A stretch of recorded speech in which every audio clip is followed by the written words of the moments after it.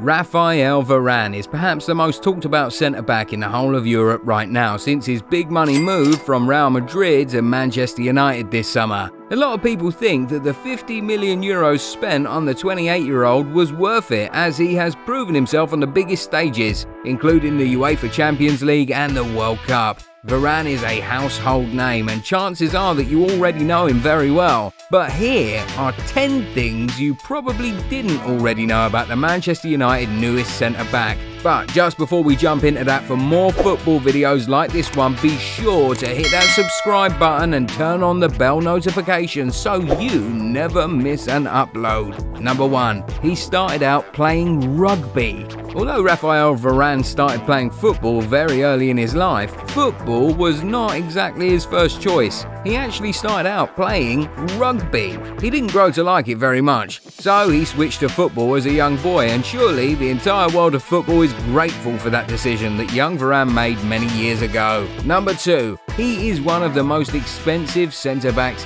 in the world. In the 2021 summer transfer window, Manchester United spent 50 million euros to get the signature of Raphael Varane. With that, the French defender makes it into an elite list of the 10 most expensive centre backs in the world. A list which is currently topped by his new defensive partner, Harry Maguire. Number 3. He's never afraid to stand up to managers. Very early on in his career, Varane turned down call ups to the French under 18 side because he wanted to focus more on his club career at the time. And if you follow football, you'll know how much guts you have to turn down a call up to play for your country, especially at such a young age. Later on, before he signed for Real Madrid, he got a call from a certain French legend and Ballon d'Or winner trying to get the young French defender to sign for Real Madrid. When he confirmed that the man on the other side of the call was Zinedine Zidane, he politely told him to call him later because he was busy at the moment. Now, could you imagine that? Getting a call from one of the greatest players of all time and telling him to call you back because you were busy. Wow! Varane was really one very confident teenager. Number 4. He's married to his childhood sweetheart. Varane not only has a glamorous career, he also has a beautiful family and an adorable love story. In 2015, the World Cup winner tied the knot with his beautiful wife Camille Tytgat. They had met many years earlier in secondary school in France, and when he made his move to the Spanish capital, she was by his side too. The couple have two beautiful kids, a son Ruben and a daughter Anais. Number 5. Man United tried to sign him three times. Before their successful attempt in the 2021 summer transfer window, English giants Manchester United had tried two times and failed to get the signature of the French centre back. First in 2011 when Sir Alex Ferguson was still in charge, but it seems that Zidane's call did the trick because he ended up going to Real Madrid that year.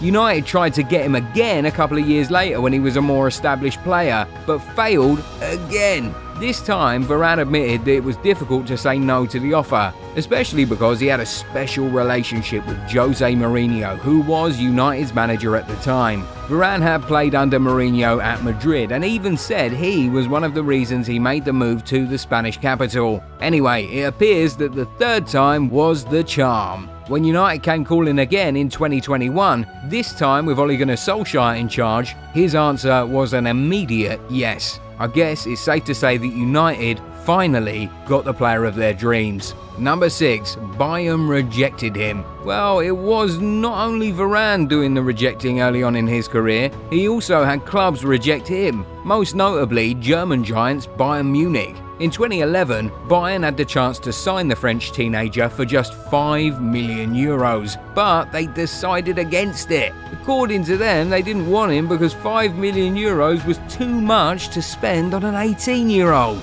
Well, two months after they turned down teenage Varane for being too expensive, Real Madrid went and paid two times that amount and snatched him up. Fast forward to 2021, after helping them win a lot of trophies, Madrid sold him to Man United for 50 million euros. Brilliant business that was, isn't it? Number 7. Fourth player to win UEFA Champions League and World Cup in the same year. 2018 was indeed such a good year for Raphael Varane. After winning the UEFA Champions League for the fourth time and a record third time in a row with Real Madrid, he went on to also win the FIFA World Cup that same summer. And he didn't just win it, he was a vital player for Les Bleus, playing every minute of every game in the tournament. By clinching the World Cup with France that year, he joined an elite list of players who have won the Champions League and the World Cup in the same year.